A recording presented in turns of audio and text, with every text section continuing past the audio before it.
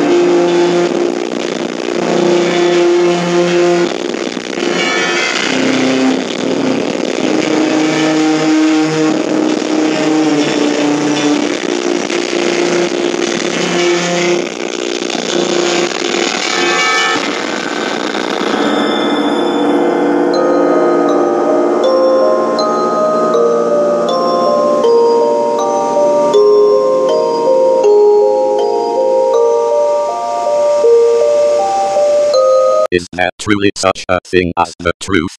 As there is a mass awakening happening, there has been a pondering question that has been on my mind. Is there such a thing as the real truth? Let me tell you a story. This did happen, but the moral at the end may have you looking at things in this world just a little different. A small little hole in the wall bar. Everyone comes here to escape the grind that has happened all week long. It is a place to drink, dance, and connect with friends to forget the hustle of the week. In the center of the room there is a wood bar. A six foot older gentleman is the bartender. He is well known for being friendly. The bar itself extends through the center of the room. There is a few patrons sitting at the bar. The rest are seated at tables and chairs on either side of the bar. A strange person comes in this evening. He is not dressed any different than anyone else. The fact is this person has never been seen here by the patrons before. He walks to the bar and sits down. Within a few minutes the bartender can be seen pulling a gun and aiming it at the man. The man quickly raises his left hand in the air, but his right hand is by his chest. What is going on here? The patrons on this side of the bar are quick to think that the bartender is guilty of a crime. They see the man as a victim, and they are in agreement. Let us move to the opposite end of the bar, where people sitting on that side get a different view. On the opposite end of the bar the people turn to the commotion, but they see something very different.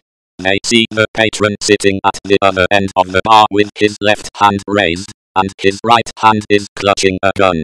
The bartender is holding a gun to him to protect his life for this man was about to rob him. The patrons on this side notice that the panic button is located all the way at the far end on the left side of the bar, and that a telephone is located on the far opposite end of the right side of the bar. The bartender could not reach either, he did what he had to do to protect his life. As you can see the one side of the bar would have sworn that the bartender, who has always been friendly, helpful and kind, was guilty and have snapped while the patrons on the opposite end of the bar saw what the patron was really doing. So now it puts to you that facts. Unfortunately there is no such thing as the truth.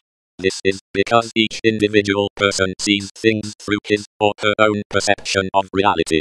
There is only facts and evidence.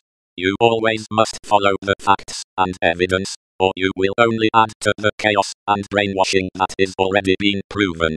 So I ask you, is the word truth a word to cast a spell psychologically to have us chasing dragons like a heroin addict?